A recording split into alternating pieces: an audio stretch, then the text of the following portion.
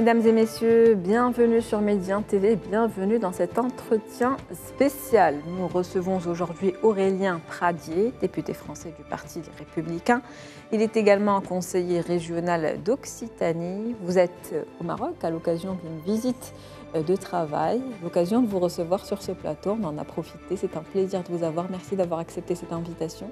Merci pour votre invitation. Je suis très heureux d'être euh, non seulement au Maroc, mais aussi avec vous. Un plaisir partagé en tout cas. Euh, que pouvez-vous nous dire de votre visite de travail euh, aujourd'hui au Maroc? Je suis venu avec un de mes collègues députés, Pierre-Henri Dumont. nous sommes tous les deux députés très impliqués sur les questions internationales et notamment sur la question du Maroc.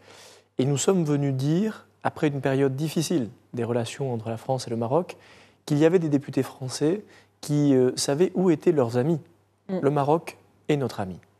Et nous avons, nous-mêmes en France, très mal vécu cette période de grand refroidissement, même de rupture des relations entre nos deux nations, qui ont pourtant une histoire culturelle, politique, économique commune qui ne doit pas s'effacer.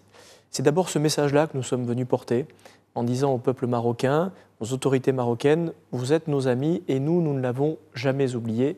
Il est grand temps désormais euh, d'écrire une nouvelle page de reconstruction de ces relations. Une reconstruction donc des relations Maroc-France. Lors de cette visite, vous avez rencontré des jeunes, notamment des entrepreneurs, euh, des représentants des partis politiques marocains. Comment se sont déroulées les discussions et ces rencontres? C'était euh, une des orientations de notre visite, la nouvelle génération.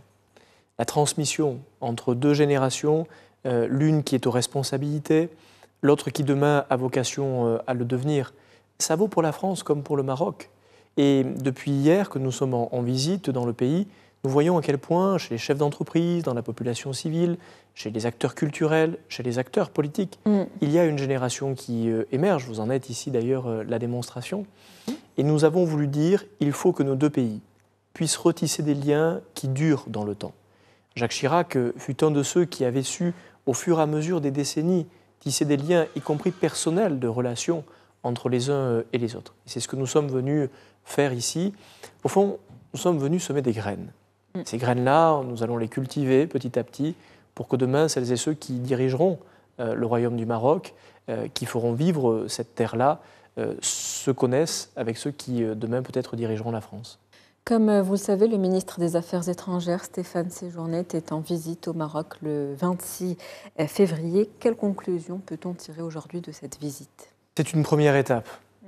Elle est très insuffisante. Je sais que le peuple marocain euh, attendait sûrement euh, davantage. Nous aussi, en France, nous attendions davantage. Il faut d'abord tirer toutes les conclusions de cette période de rupture que nous avons connue.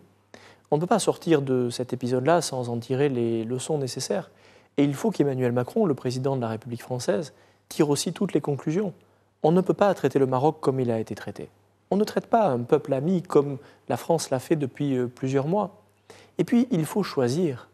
On ne peut pas en permanence être ambivalent. Mm. Qui du Maroc ou de l'Algérie aujourd'hui est l'allié de la France? Moi j'ai choisi, c'est le Maroc. L'étape de visite du ministre des Affaires étrangères marque un petit réchauffement. Mais la vraie parole qui compte, ce sera celle du président de la République française. Et nous savons que sa parole, qui est attendue dans les semaines et les mois qui viennent, mm. Elle devra trancher la question du Sahara marocain. Sans euh, une réponse claire de la France sur ce sujet, rien ne pourra être reconstruit. Il faut que Stéphane Séjourné, euh, le ministre des Affaires étrangères euh, en France, l'entende bien et il faut que le président de la République française l'entende aussi. C'est le message que je vais porter en revenant en France, en disant les Marocains, légitimement, attendent aujourd'hui beaucoup plus que des petites déclarations. On attend un peu plus sortir, donc, comme vous le dites, de l'ambiguïté, avoir un discours qui soit clair et puis euh, également euh, une position assumée euh, de la France. Vous l'avez dit lors d'une précédente interview, il faut, il faut un pas, un pas de la France, justement. quelle est votre position aujourd'hui? Sur la question du Sahara marocain, ma position est très claire. nous devons reconnaître la souveraineté du Maroc sur le Sahara. Les choses sont claires. D'abord parce que nous y avons suffisamment réfléchi. Moi-même d'ailleurs, je suis venu à Darla il y a euh, deux ans pour découvrir le territoire, connaître les acteurs, savoir ce que les populations souhaitaient euh, aussi. Et j'ai compris à ce moment-là, sur place, parce que pour moi c'était important de me faire un avis sur le terrain. Justement, c'était quoi les impressions que vous avez eues sur place? Elles étaient très claires. La Mm. première, c'est que la population voulait vivre en paix. Et que la meilleure garantie de la paix, c'était la souveraineté du Maroc. D'ailleurs, nous le voyons euh, à Darla, euh, dans l'ensemble de la zone du Sahara euh, marocain, le développement économique, le développement touristique, le développement énergétique se fait par le Maroc. Mm. Il faut que ce territoire-là soit un territoire de prospérité demain. Et c'est avec le Maroc que cela se fera. Mais c'est aussi un enjeu de sécurité. Pas seulement pour le Maroc d'ailleurs, pour toute une partie du monde. S'assurer que cette frontière-là soit sécurisée, c'est aussi avoir la garantie que nous luttons contre des mouvements terroristes et extrémistes du mieux possible. Voilà pourquoi le sort et le destin du Sahara marocain lient aussi le sort et les intérêts euh, de la France. Ce qui retient la France d'avoir une parole claire, c'est le fait qu'elle joue sur deux tableaux. Le premier, le Maroc, le deuxième, l'Algérie. Vous ne pouvez pas jouer sur deux tableaux. Et je le redis, il faut qu'une grande nation comme la France sache reconnaître où sont ses amis. Mm. Depuis des décennies, le peuple ami, le royaume ami de la France, c'est le Maroc. À tous égards, économiquement, culturellement, politiquement. Euh, Tout cela n'empêche pas des discussions franches. Mm. Nous sommes des alliés, des amis, et entre amis, on peut se parler franchement. Mais on doit se respecter. Le pas nécessaire, c'est celui-ci.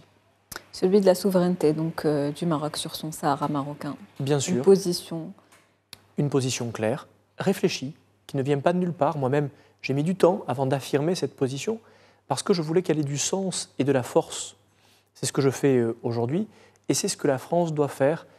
Nous savons tous que le rafraîchissement, la consolidation des liens entre le Maroc euh, et la France passera par cette étape. C'est ce qui est attendu du président de la République française. Une étape donc attendue, vous l'avez dit, la relation entre le Maroc et la France est une relation de longue date, historique. Euh, donc euh, euh, il y a des intérêts communs, que ce soit au niveau économique, politique, culturel, des valeurs communes. Quelle vision est la vôtre pour passer aujourd'hui à un autre cap entre le Maroc et la France? D'abord, il faut comprendre le Maroc pour l'aimer.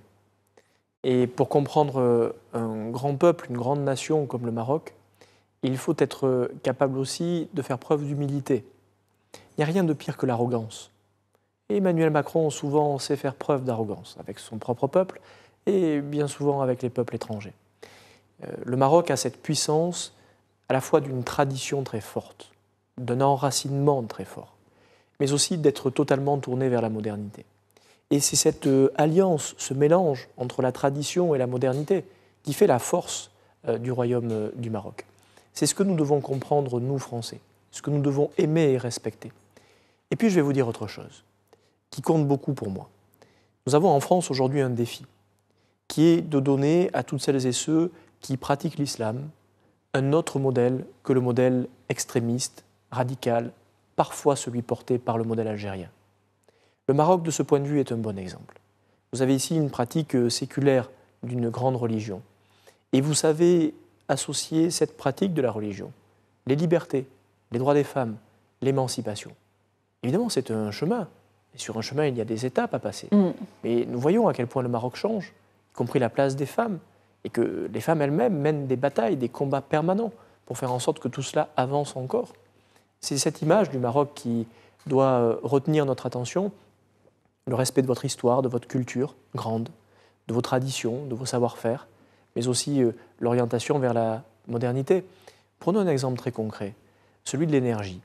Nous avons, nous, en France, un défi qui est la question énergétique, les énergies renouvelables, et nous avons aussi la question de l'accès à l'eau qui nous pose un problème. Le Maroc a une avance considérable sur la France en matière de désalinisation, en matière de retraitement de l'eau, de gestion de l'eau. Euh, Vous avez sur ces sujets de quoi éclairer une bonne partie du monde, notamment la France. Une expertise donc du Maroc qui pourrait, comme vous l'avez dit, éclairer euh, la France et être partagée justement avec la France. Merci à vous. Merci beaucoup. Euh, Monsieur Aurélien Pradier, je rappelle que vous êtes euh, donc euh, député français euh, du parti euh, Les Républicains. Vous êtes également conseiller régional d'Occitanie. C'était un plaisir de vous avoir avec nous. Merci à vous. C'est la fin de cet entretien spécial. Merci à vous pour votre fidélité.